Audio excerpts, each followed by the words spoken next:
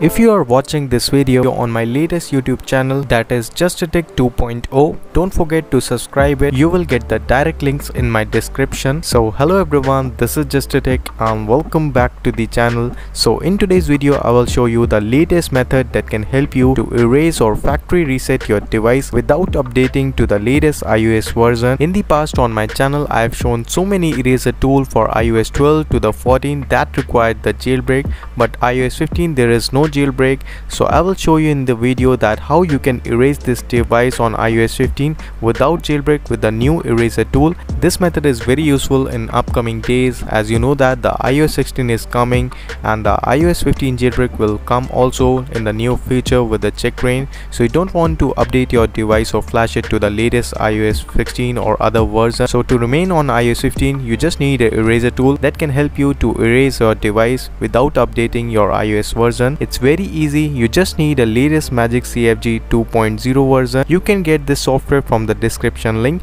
It's a complete free utility for your ios device. I have already explained you about this software with my dedicated video so you can watch that if you want to know more about this tool. Alright now first you need to connect your iphones or ipad in the normal mode or if you are on passcode disable you can put it into your dfu mode and then click on the enter purple mode screen.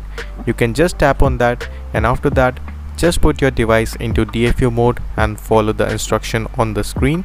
For the A10 and A11 devices, you don't need any DSDC cable you just need a normal lightning cable that will work for you to put your device into the purple mode as that's important to erase your device on iOS 15 and if you are on other models like A9 chipset like iPhone 6s, 6s Plus or other iPad model that require the DCSD cable or engineering cable you can connect with that and then put your device into purple mode. Now just tap on that button and wait for your device to respond to the different colors or a purple screen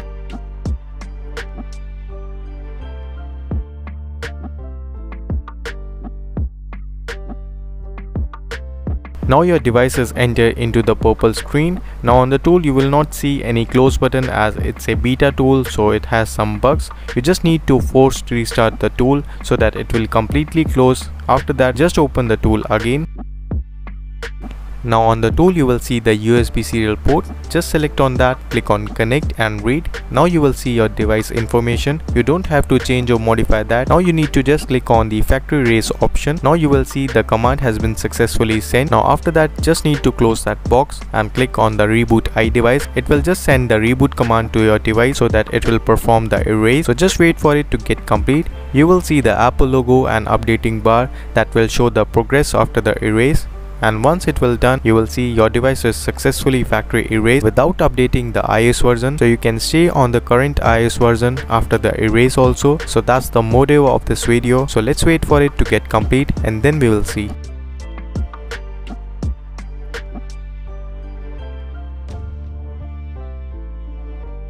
So now you can see on the screen I have successfully erased my device and currently in the setup screen.